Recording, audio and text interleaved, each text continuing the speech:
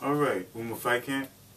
Um, this video, I'm going to warn you, uh, is not going to be politically correct.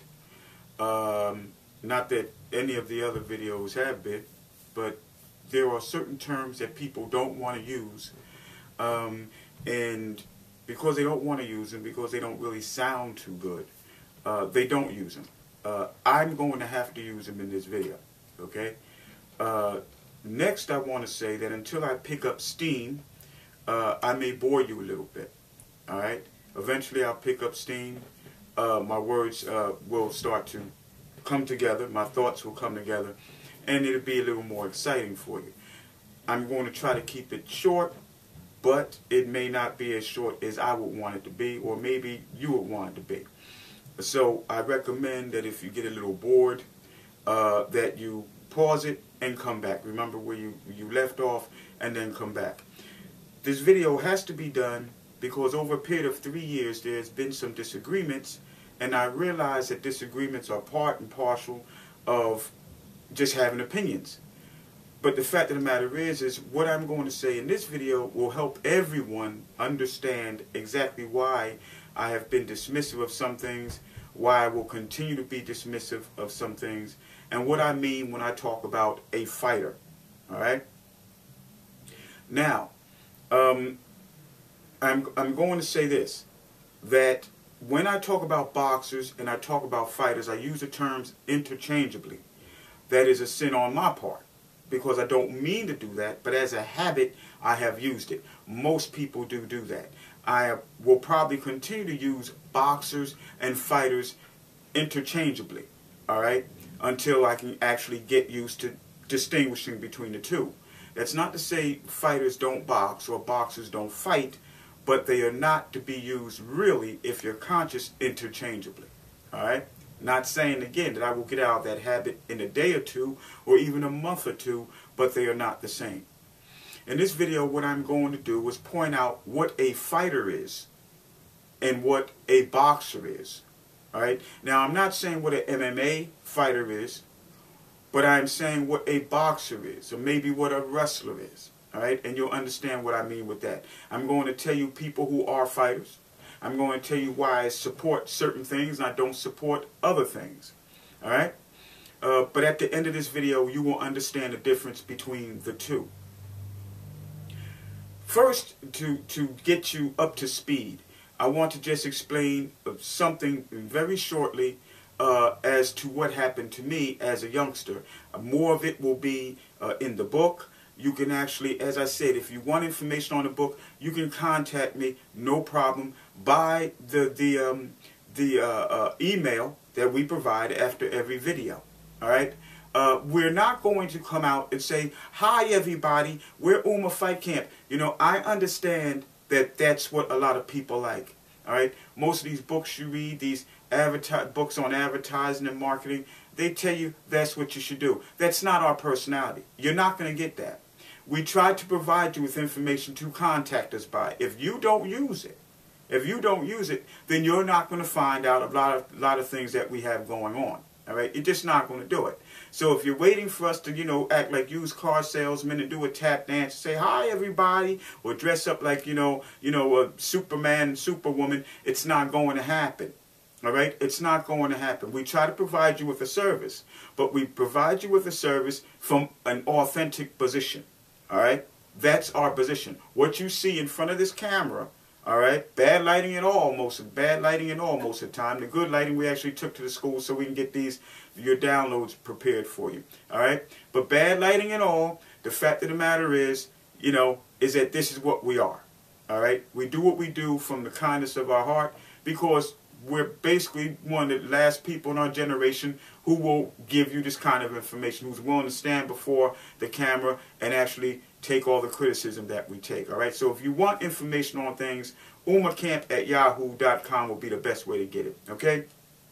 So I just want to tell you a few things, basically what as a child, and bring you up to speed as to uh, when I came to understand what fighting is. I will give you some names as to who are fighters and whatever. So here we go. Um, the person you see in front of the camera is not the person that was I was as a little boy. Right, it's hard for people to believe, but I was one of those people, like Mike Tyson, like Sugar Ray Leonard, that was really traumatized by bullying. Traumatized by bullying. You have people who, you know, my age, 53, 54, who were tough as kids. And you always hear people say, oh, he would fight anybody when he was 11. He would fight anybody when he was 12. All right? I'm not ashamed to say I wasn't that dude. All right? I, I was not. I come from a very loving family. Not saying that other people don't who were tough as kids, but I'm saying my mother, my father, I knew who my father was. I didn't live with him. I saw him regularly, but I lived with my mother. My mother was a very, very, very gentle individual until you got on her bad side. And it wasn't really in her to say, okay, you have to fight. Your son, you know, telling her son, you have to do this and you have to do that. All right? Um, the fact of the matter is, is that when I was younger, from 9 to about 12, my mother would send me to the store. The store was not far from the housing project we lived in. But there was an abandoned lot. There was an abandoned lot that separated our building from the supermarket. And whenever I would be asked to go to the store by my mother, I would run to the living room window and look out from the fifth floor and look at that abandoned lot where I could, from the fifth floor, you can get a very, very good view of that lot. And I would look. And the reason is because almost without fail, the same three or four guys, same three or four kids around my age, from 9 to about 12, they would actually wait until I was in the middle of that lot, too far to run to the store, too far to run back home and take whatever money I had. I remember the, the, the sum of a dollar eleven, and the reason why I remember a dollar eleven is because that's what a loaf of Wonder Bread cost. A brand, you know, a good brand, name brand. Um, even though we were on a fixed income, we always had name brand foods, right? The best foods, uh, and it was a loaf of bread, Wonder Bread, that was a dollar eleven. Now, if they caught me going to the store, they would take the money. If they caught me coming back, whatever goodies my mother would purchase for me and my sisters uh, my younger sisters, um, they would eat them. Uh, the canned goods they would just throw around. Whatever, the bread, they might have a slice of bread, but on the average, they would just open the bread and throw it out and feed the birds with it. All right? And that's really, the that was what the reality was for me as a child. One day, one day, a lady by the name of Miss Gussie, a nice, nice lady, uh, one of the ringleaders, I'll call him Ray, right? Because he's probably still around, so I'll just say Ray. Ray cursed at Miss Gussie. Now, Ray was one of the guys that I was afraid of the most of that, that particular ring. Uh, but I remember being upset when he cursed at Miss Gussie. Miss Gussie. So when we finally put on the gloves, we went to the park. I told you my brother and uh, uh, uncle of mine and a cousin would take me to, to the park and teach me how to box and have me spar with other kids to get me over the, the fright of uh, the, the crippling fear that I suffered from as a child. Well, when I finally, when we got to the park, uh, it was asked who wanted to box with me, and Ray quickly put up his hand. Now, here's a kid that until he cursed at Miss Gussie, I was definitely afraid of this kid. My same height. My same height, you know, average height at that time. I'm below average height now, but average height at that time. Um, same age, couldn't have been more than a year older than me, but I was afraid of that kid. Loud mouth, everything. Had brothers who tore him out of box, just afraid of him. But I was mad that he had cursed out Miss Gussie. I lost my temper. At the one, one of the few instances where I lost my temper and showed some courage, I just started going wild on the guy, and he hit me with four punches, flush on top of the head, flush on top of the head. And I hit him with a haymaker back. But there's something that happened to me. All of my life prior to that age of about 12, I had thought that getting hit with gloves fists, glove fists actually hurt. I thought it actually hurt. But I was amazed that it didn't hurt. It didn't cause pain. I had known pain. I had slammed my finger in a car window, in a car door. I had hit my, my foot against a, a metal uh, bedpost. That was painful. I had bit down on my tongue because, you know, enthusiastically hitting, eating something that I liked. I bit my tongue. We, most of us have done that. That was painful. But getting hit in the head with four punches on, you know, on top of the head in this region, on the crown. It didn't hurt. And I had a aha moment right then.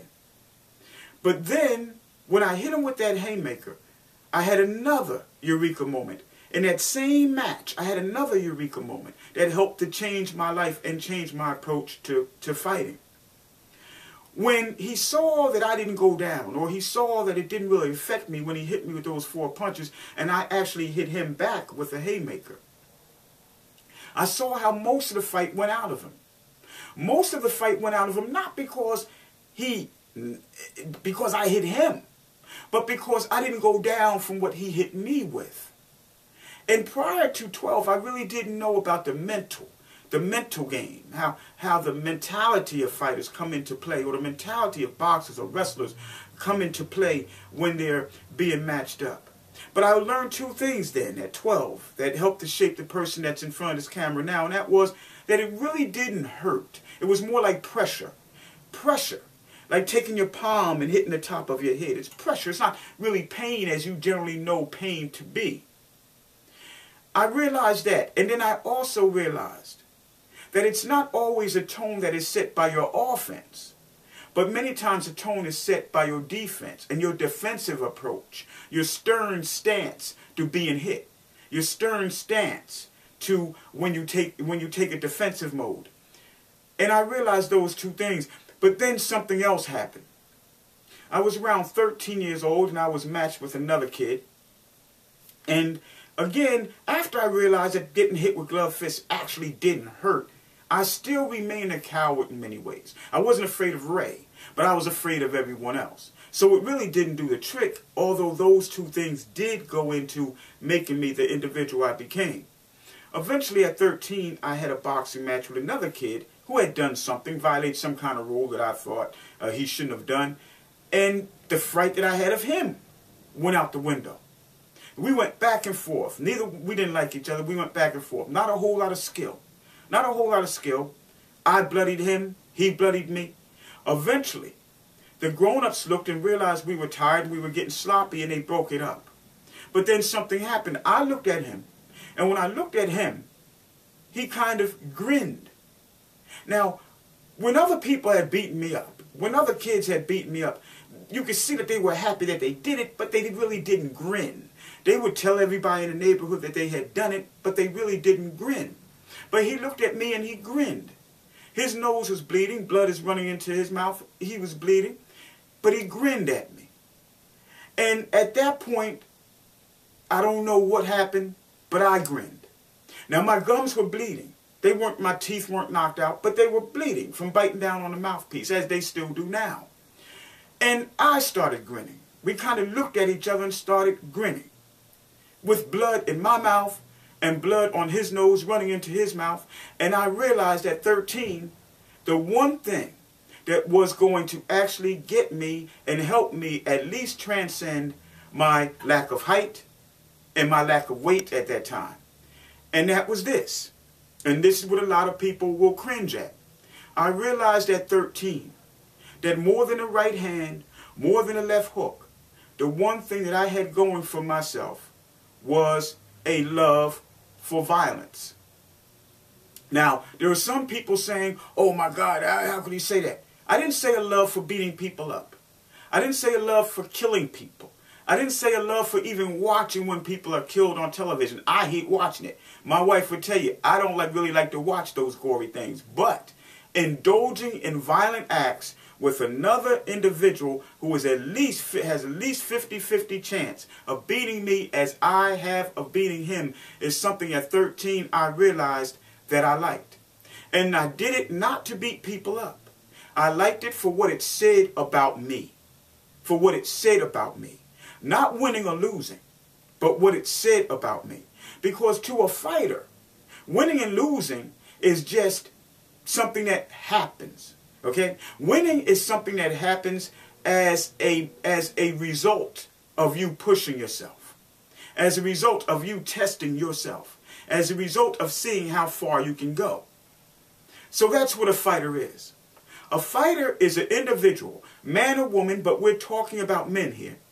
A fighter is an individual who indulges in controlled or uncontrolled violent acts with the best competition as a means of competing against oneself and for what it does for that person existentially. Okay? Again, a fighter is someone who competes against himself, not someone else. Competes against himself and for what it does for him, what it says about him to himself. Okay? A fighter is not one that wants to beat people up. In fact, a fighter who beats people up gets bored.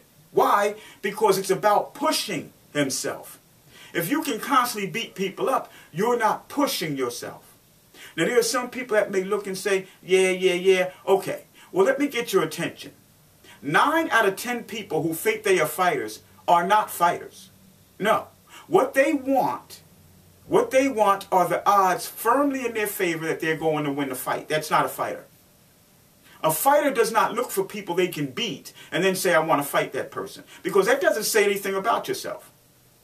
The only time you fight and it says something about yourself is when the person in front of you is just as capable of knocking you out as you are of knocking that person out. And then when you don't get knocked out, not that you knocked them out, but when that person pushes you to a certain threshold, it's what it says about your character. It's what it says about your fortitude that keeps you fighting. If someone raises your hand and say the winner, then that's good. That's cherry on the cake. But the reason a fighter fights is because they are addicted to the act of violence and pushing themselves against someone who can push back for what it says about that individual. And this is why when you look at boxing today, boxing lacks fighters. And this is why when you look at the average boxing fan, the average male boxing fan has no idea what a fighter is. They will say Gennady Golovkin is a fighter. Gennady Golovkin is an aggressive opponent against people he knows he can beat. If Gennady Golovkin was a fighter, no manager, HBO, no one could have stopped him from forcing them to match him with Andre Ward. That is what a fighter is. And that's why I support the UFC. Now, I have a problem with Joe Rogan. Joe Rogan, in my opinion, is not very qualified. He is the least qualified person I can think of to be a, a commentator for the UFC. Why? Because he only has experience in Brazilian Jiu-Jitsu. He doesn't have much experience in anything else, and that fake karate he did was ridiculous. You can't say somebody really is an expert in karate if the kind of karate they're indulging in is one where you can't punch to the face. All right? And Dana White. Dana White, in, in my opinion, is extremely, is extremely bigoted in many issues and is and really is is extremely biased. In other words, he's really a creep. He's not a nice guy. All right? But the UFC is something I support. And there are people who have come up with me in, in traditional karate who blast the UFC. I don't like the UFC. There are people who box. I hate the UFC. No. I love the UFC. And I'm not saying I just love the UFC. I love mixed martial arts, but the UFC is a Super Bowl of mixed martial arts, so that's what I'm talking about. I love the UFC. I will only purchase maybe one fight a year of the UFC. I'm not. The card has to be good for me to spend six, six, $60 to see it. It has to be at least three good fights on the undercard. All right. But I watch just about every good fight in the UFC. Why? Because they are fighters. They are fighters. When a fighter loses in the UFC, look at them. How traumatized are many of these fighters? Are they really traumatized or some of them may, may be mildly disappointed? You know why they're mildly disappointed and they really don't get really too traumatized on the average when they lose? Because of what the fight says about themselves. Because what bleeding, what bleeding, having a face full of blood and not wanting to quit, what it says about yourself. Wanting, having someone in front of you who hits like a truck and kicks like a truck and yet you are not taking a backward step looking for an exit. What does that say about you? What does it say about an individual who, when you know you can beat someone, you say, nah, I'm not interested in that. I want that person, that undefeated person. What does it say about you? When you see Robbie Lawler and Rory MacDonald, the last round, faces full of blood, look like somebody hit him in the face with a pizza. And they're looking at each other. And I don't know if it's Joe McCarthy or the other guy, right? or Herb, right? But they're looking at each other smiling, smiling with faces full of blood. You will not see that in boxing. Why? Because Robbie Lawler and Rory MacDonald, did they want to win? Of course they wanted to win. What? Why? Because it means more money. It means a bigger career. It means the next fight. It means a shot at this or a shot at that. It means endorsements, of course. But they were smiling because of what it said about themselves to be indulging in an act of violence that will make other men cringe. Not just women, other men cringe. That's what a fighter is. Why would BJ Penn, after a particularly difficult fight, not lick his blood off, glove, off his gloves, but lick another man's blood off of his gloves like a vampire? Why would BJ Penn do that? Now, he didn't do this in 1800s. He wasn't around 1800s, 1700s. No, he did this in 2000 something. 2014, 2015. The man licked another man's blood off of his gloves in a frenzy. You will not see that in boxing. That's a fighter. That's a fighter. Even the women, they fight. Why? Because fighting at, at that caliber, their hands, knees against people who are trained to render you unconscious. In a venue, because keep in mind, the UFC does not have gimme fights. You will not have many mismatches on purpose in the UFC. No one knew Conor McGregor would knock out Jose Aldo with one punch. Look at that matchup. Look at that matchup. I have my issues with Dana White. But one thing for sure, Dana White is into making money. Conor McGregor fights Mendes, Chad Mendes, right? Now before that, he didn't fight many great fighters, but he fights Chad Mendes. and then he's matched with Jose Aldo. Next, he's fighting Junior Dos Santos. Now, Dana White didn't say, well, a lot of white people are watching Conor McGregor. I don't want to get Conor McGregor knocked off. No, he wants Conor McGregor to fight the best fights because it's making money. If Dana White was in charge of boxing, then there's no way Gennady Golovkin could get out of fighting Andre Ward. He would demand that he fought Andre Ward. He would demand that he fought Andy Lee. That's what fighting is about. That's what fighting is about. Fighting is when you are indulging in an act of violence, controlled or uncontrolled. I'm not saying taking knives and cutting people. I am saying it might be. It might be people maybe who indulge in knife fights back in the 1800s, 1700s. Indulge in knife fights against the other trained knife fighter. That will fall into it. If someone's a great sword fighter and they're fighting another one who's a great sword fighter, that will fall into it. Of course, the outcome is fatal. You're not coming back for rematches. But a gunfighter, he's a gunfighter. He wants to match his gun against the fastest, the, a person considered to be faster than him. That's also what I'm talking about. That's what a fighter is. They are competing against themselves, not the individual in front of them. Winning is not what's on their mind. Winning is just a result. It's just a result. It's just a byproduct of pushing yourself and wanting to see how far you can push yourself for what it says about the man in the mirror. It's not winning or losing. Some of my proudest moments have been when I lost, but I stood up against somebody who was much bigger than me and was supposed to beat me. That's some of my proudest moments. Why? Because I know the average guy is not going to spar anybody 10, uh, 90 pounds heavier than them. I know the average guy who runs his mouth all day today is not going to spar somebody who's 7 inches taller than him. I know the average man, five seven, ain't gonna spar somebody who's 230 pounds, who's six foot three. They can run their mouths, but I know people walking around tough right here in North that will never fight anybody who has them outweighed by 100 pounds or has them or seven inches taller than them. But they'll run their mouth all the time. I know I did it. So it's not a case of even winning and losing to a fighter. A fighter wants to indulge in violence, mano a mano, with another man because of what it says about him when he looks in the mirror and he sees him, what it says about his character, what it says about his fortitude. And then if he wins, then that's fantastic. Good. But winning and losing is a cheap shot in the book I will talk about. Winning and losing, you tell me you want to win. So what? You're just telling me something that is right there. You're preaching to the choir. You're just telling me something that is innate about the human being. The human being wants to be a winner and wants to be on the winning team because it comes with so much fanfare. We want to be loved. We want to be liked. That to tell me you want to win doesn't mean anything. What are you willing to do to win? If someone says, okay, I want my own business, it doesn't tell me what anything about you. You want your own business. Doesn't I don't know anything about you until you tell me you're willing to work 16 hours a day to run your own business.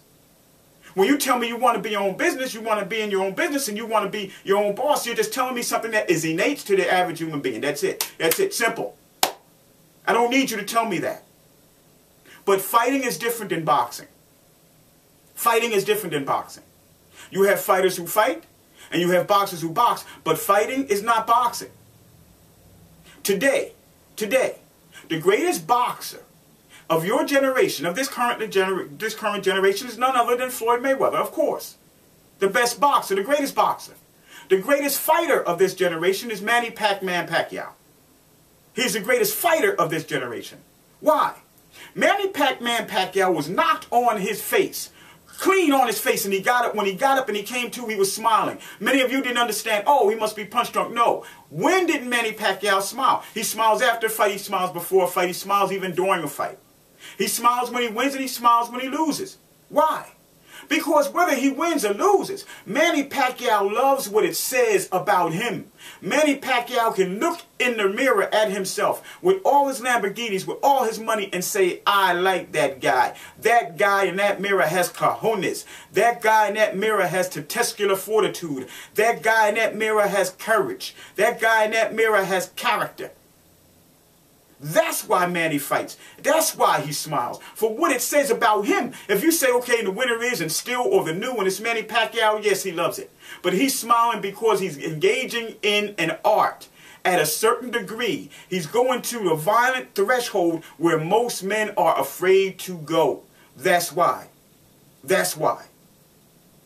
Manny Pacquiao was knocked out on his face. And when he came to, they asked him, what happened? He said with a smile, I got hit. That's what happens when you fight. Yet all you guys in your barbershops, all you guys out in front of 7-Eleven, you said he got knocked the F out. Manny didn't care what you said because Manny knew you weren't a fighter. That's why you said that. The fact of the matter is that Manny simply said when you were a fighter, you run the risk. And when you're my kind of fighter and you're aggressive, you run the risk of running into a punch and that's what happened. And then to show you that he didn't care, he asked Juan Manuel Marquez to give him a fifth fight. And Juan Manuel Marquez refused, as he should have. Why? Because Manny was moving in for a kill, moving in for the kill in that fourth fight, and actually he was getting beat worse in that fourth fight before he caught that punch, before he threw that punch. It wasn't a lucky punch, it was a clear punch. Manny leans in, Juan Manuel Marquez threw his Hail Mary punch, and it worked. But the fact of the matter is, is that Manny Pacquiao asked him for a rematch. He's the greatest fighter of this generation. And while I'm on Manny Pacquiao, what fighter do many of you say? What fighter do many of you say is the one who beat him? Three out of three out of four times. We know we beat him one time out of four times, but at least three out of four times. What's the one fighter? Juan Manuel Marquez. Why did Manny Pacquiao want to fight him four times? Well, want to fight him five times and fought him four times. Understand this, other than the first fight, Manny Pacquiao was a drawing card for the other fights. He was a drawing card for the other fights. Now, Juan Manuel Marquez is over is underrated. He is underrated and very much underappreciated. And it's a shame because like Larry Holmes was in the shadow of Ali, Marquez was in the shadow of, of Manny Pacquiao. But the fact of the matter is, is Manny Pacquiao sold those particular fights. He was the attraction in those particular fights. In all but the first fight. Why would he want to fight the one guy who was truly his nemesis, who many of you say was better than him? Who many of you say had his number? Who many of you say beat him? Because he's a fighter. He wasn't trying to beat Marquez. He wanted the best opposition to be in front of him, to push himself, so he could look in the mirror and say, I, Manny Pacquiao, I have the testicular fortitude. I, Manny Pacquiao, I have cojones. And if he ended up winning, good. But what he wanted to do was push himself through the blood, through the pain, through the snot, through the slob. That's what he wanted to do because he knew the average man didn't have the cojones to do it. That's why. That's what a fighter is. A fighter gets bored winning all the time. A fighter wants to match. If a fighter wins too much, he says, get me somebody better. I need to be pushed. And many of you need to understand when I say a fighter, that's what I'm talking about. A fighter looks at somebody who everyone fears and says, I want that person. I don't want to beat that person. I want to see how well I stand up against that person because everybody else has fell under the hands of that person, under the sword of that person, under from the gun of that person, under the blade of that person, under the bat of that person, under the kick of that person. I want to see if I can hold myself up against that person. That's what a fighter does. If they win, good. If they don't win, good. No, it doesn't matter. They want to be able to look at themselves and say, I did it where everybody else failed. That's what a fighter is. That's what a fighter is. Floyd Mayweather, the best generation, best boxer of our generation. He gets ready to retire. He fights Andre Berto. Name one fighter who between the junior welterweight and welterweight division is sure to give you hell. Name one fighter between the junior welterweight and the welterweight division is sure to give you hell. Timothy Bradley. And who was fighting Timothy Bradley for the third time in his last fight? The greatest fighter of this generation, Man, uh, Manuel or Emmanuel Manuel Pacquiao. The greatest fighter of this generation. Fighters are fighters who want to fight the best. Even if you think they're a boxer, they're fighters. Muhammad Ali, you think boxing? You think fighting? No, you think boxing. Why would this man want to fight Joe Frazier three times? He wants to fight Joe Frazier three times, and he fought Joe Frazier all three times after his prime because his prime, 25, 26, 27, and 28, were taken away from him. Why would he fight a, a killer? The heavyweight Pac-Man Pacquiao of his day was Joe Frazier. Why would Muhammad Ali want to fight him three times to push himself? Why would he fight Ken Norton to push himself? Ken Norton broke his jaw in his first fight. Why would he fight him two more times to push himself? This is what it's about, people. Sugar Ray Leonard fought Roberto Duran the first time, and Roberto Duran hit him so hard with the right hand, Sugar Ray said it pushed four of his front teeth back in his gum. He had to get surgery to pull his front teeth out to, re to redo his mouth. And yet he fought Roberto Duran two more times after that. Now, did he afford, did he, did he, did he avoid Marvin Hagler? Yes, and why is he so? And I'll never forgive Sugar Ray Leonard for doing that. Hagler lost that fight, but I'll never forget Sugar, forgive Sugar Ray Leonard for doing that because he didn't want any part of Hagler in his prime, and he knows it. But he did fight Roberto Duran. He fought him three times, his nemesis. Why would he want to fight Thomas Hearns, a born killer? Why would he want to fight the hardest puncher of all time, pound for pound, and Thomas Hearns? Why would he want to fight him again? Why? Because fighters want to push themselves. No matter where you find it. Jake LaMotta, he lost to Sugar Ray Robinson. He lost so bad to Sugar Ray Robinson on that particular February 14th of that particular year, they called the Valentine's Day Massacre. And Jake LaMotta said, I didn't go down. He lost so bad they called the Valentine's Day Massacre, and Jake LaMotta didn't say I won. He didn't say I lost. He got beat to death almost, he said, but I didn't go down. The biggest problem, and you guys are not going to like it, one of the biggest problems. You talk about the UFC, you don't like the UFC, you don't like this, but the average male boxing fan has been effeminized. You have been effeminized. I read many of your comments, and many of your comments make me sick. Not all, but some. When you start talking about, oh, well, it's a game of boxing, hitting and not being hit. You didn't say that when you were a Mike Tyson fan. You didn't say that when you used to rush home to see Mike Tyson, an undersized fighter, an undersized heavyweight, go and destroy people that were 6'5". Why would Mike Tyson go and want to fight Razor Ruddock, a man who he said is the hardest puncher he ever faced? Why would he want to go and fight Razor Ruddock like he fought Razor Ruddock? Why would he want that? Because he's a fighter. Look at one of the greatest boxers of all time, fighters of all time, who is a boxer, one of the greatest fighters and boxers of all time, who really is in the top 10 fighters, heavyweight fighters ever. And he was always undersized. Who, when you would announce his name, he would grin. Evander, the real deal, Holyfield. He would be grinning before he shed anybody's blood and before blood was shed by him or blood was shed on him, he would be grinning before he's getting ready to fight Mike Tyson. Yes, he beat Mike Tyson twice, but do not forget, he was an odds-on underdog to lose to Mike Tyson because Evander looked so bad against Bobby Czyz the fight before that. And when they announced his name, before he's getting ready to fight this bona fide killer and Mike Tyson, he got a grin on his face. An underdog. He has a grin on his face. Why? Not only because he thought he would win, but because of what it's going to say to the people to have him as an underdog get in there with this man and stand toe to toe when other people couldn't do it. Fighting. You are competing against yourself for what it says about you. That's what a fighter does. If he ends up winning, good but it says something about himself. Through the blood, through the gore, through the sweat, through the snot, through the slob. And if those things are not part and parcel of a particular match, he gets bored with it because it doesn't push him. It is a waste of his time.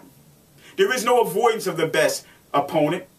There is a search and a preference for the best opponent. There is no avoidance for exchanging. There is a need and an addiction to exchange. Even when you can box, you don't want to box. Even when you can jab, you don't want to jab. Even when you can punch, you rather get punched. Now that sounds crazy to a lot of people, but that's what fighters are about. When you talk to a fighter, a fighter will tell you that. They just maybe don't articulate it in the way that I articulated it. They maybe not don't verbalize it in the way I verbalized it. But when I say a person is not a fighter, that's what I'm talking about looking for the best available opportunity. A person who is just as capable of rendering you unconscious as you are of rendering them unconscious, that is a fighter. It is a high. It is an addiction. That's what it is. It is not merely winning and losing. To win or lose takes away from the whole thing.